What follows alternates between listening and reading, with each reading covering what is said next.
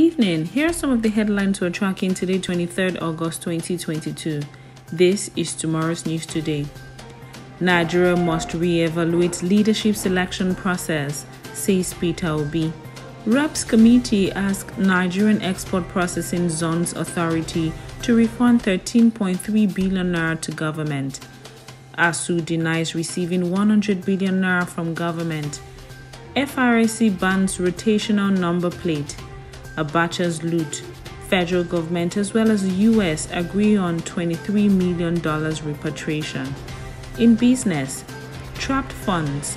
Air transport workers raise alarm over looming job losses. Customs 2.29 trillion naira annual waivers surpass revenue by 71%. In tech, Truth Social to join Rumble's advertising platform.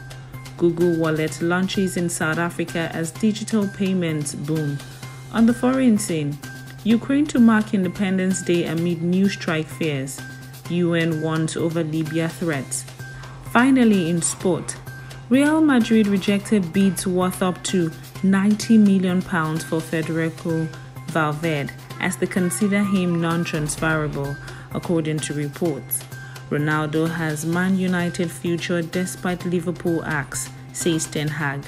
Thank you so much for listening. Make sure you get details of this and many more now and tomorrow on our website guardian.ng and do ensure to pick up a copy of the Guardian newspaper from newsstands tomorrow. Not to forget, you can also connect with us on Facebook, Instagram, Twitter, as well as YouTube at Guardian Nigeria. Have a good night and do stay safe.